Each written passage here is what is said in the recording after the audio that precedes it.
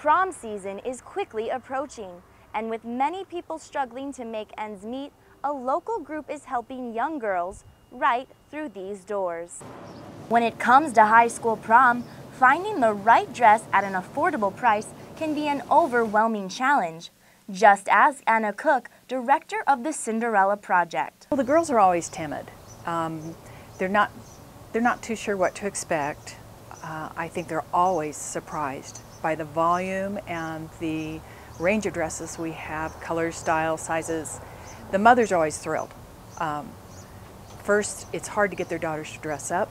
Second, uh, it's a huge savings for them. Volunteers with the Cinderella Project collect dresses from people around the community so young girls can go to prom without a worry. Lots of cities throughout the states have been doing this even up to 15 years. There are close to 300 prom dresses up for grabs at its donated space, located outside La Tienda de Jardín in Las Cruces. This year we've probably given out between 70 and 100, but we've had just as many dresses come in. And we take the time to clean them, to uh, press most of them. We look for ones that are maybe too outdated or inappropriate. Cook says you don't have to worry about not finding a dress you like because there is a vast number of dresses to choose from, from all different shapes and sizes. Try and always keep some vintage because we know some girls really like that, and have fun with that.